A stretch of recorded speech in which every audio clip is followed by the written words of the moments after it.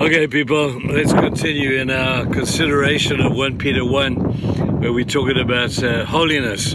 We spoke yesterday about God declaring that we should be holy because He is holy. We spoke about behavioral holiness, the fact that that is a an end result of understanding our holiness being set apart for the purpose of God. Never, ever forget that that as a result of who we are, we understand whose we are because that is the more important truth. Whose we are will determine who we are. Now, I want to continue to the very next verse because it tells you how to be holy. It tells you the essence of holiness is founding, found simply, it says this, living as strangers in fear, reverent fear. Now, this whole stranger thing is something that we're going to talk about for a while. But uh, I want to talk today certainly about what it means to fear God. I guess we have these commands throughout Scripture to fear God and and uh, and live, and we see how the fear of God is something that is mentioned very number of times. But uh, today I want to say that I'm so glad this verse qualifies what the fear of God looks like.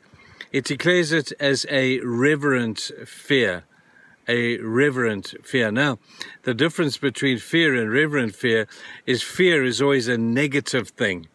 Fear is declared by God as something we don't want to do, and God says, Do not fear. A thousand times in the Bible, we hear, Do not fear, do not fear, do not fear. And I know He's talking about circumstances and stuff that's going on in the world around, but reverent fear of God is a really cool thing. And we see this in so many believers' lives as we read scripture. We look at Moses as he stood at the burning bush, and God said, Moses, this is holy ground that you're standing on. Take off your shoes. You see, there's an action associated with reverent fear. It's not quivering in the corner.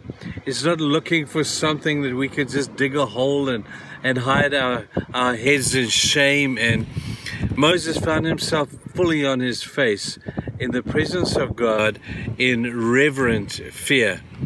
Isaiah chapter 6, we have the same thing, with Isaiah declaring, Holy, holy, holy is the Lord God of hosts.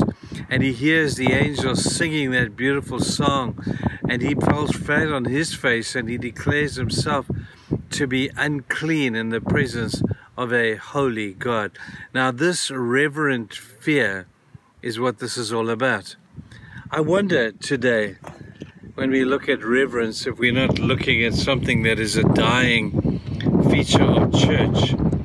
We tend to treat God as a buddy buddy. We have a this homeboy view of God. God is my homeboy. That God is my best buddy. He's my chummy.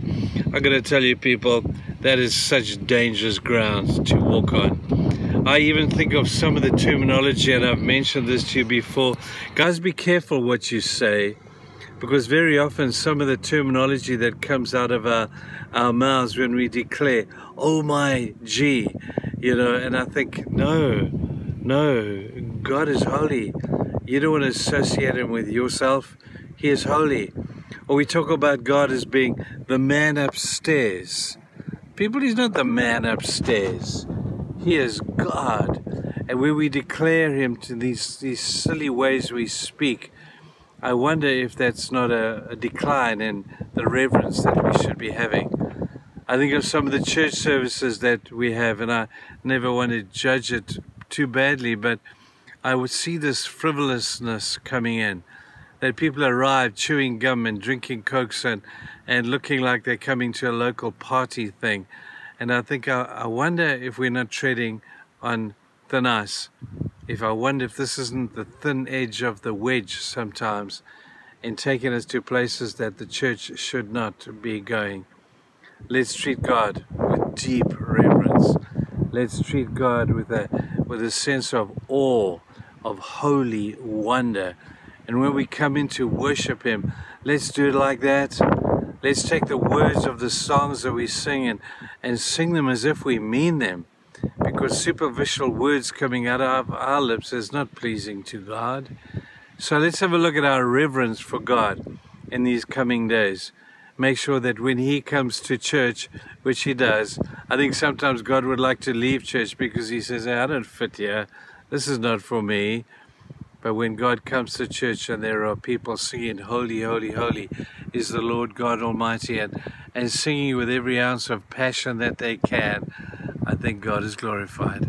I think that's what accentuates His holiness. I hope we find that to be true. Let's reverently fear the Lord. Cheers, guys. We'll see you again. Bye now.